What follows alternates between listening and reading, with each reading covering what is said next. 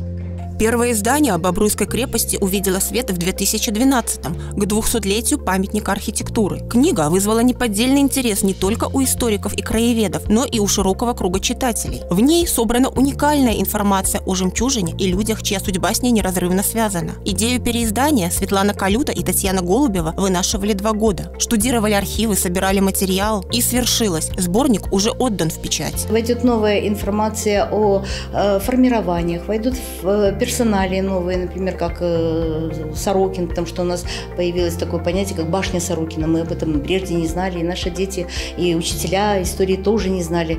А, вот. Войдут э, стихи наших бобруйских поэтов о э, крепости.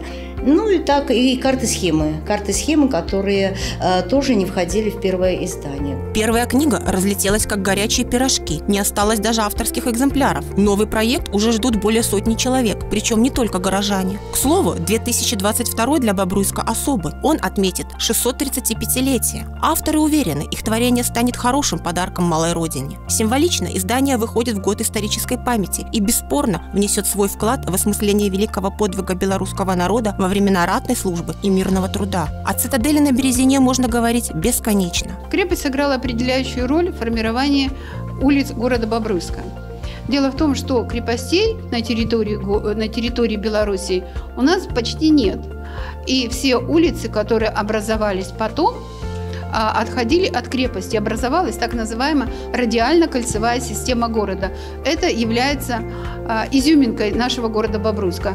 Такого расположения улиц в Беларуси, в белорусских городах больше нет. Бобруйская крепость была гордостью Российской империи, самым мощным в Европе оборонительным укреплением начала XIX века. В 1812-м цитадель приняла основной удар армии Наполеона, а после отхода русских войск и генерала Багратиона гарнизон 4 месяца сдерживал осаду французов. При возведении сооружения использовался кирпич-сырец, который должен был год пролежать на стеллажах. Только потом его обжигали. Предполагалось, что в состав стройматериала входил яичный желток и речные раковины. Однако экспертиза показала, показала, что это не так. Залог прочности – конопляное масло и добросовестность мастеров.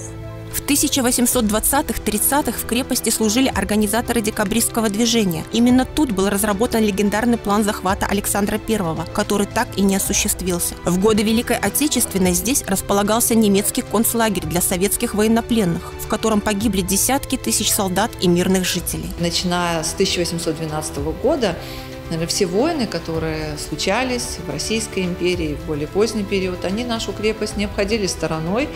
И так или иначе, даже если здесь не было военных действий, то во время Первой мировой войны здесь формировались те полки, те воинские части, которые уходили на фронт.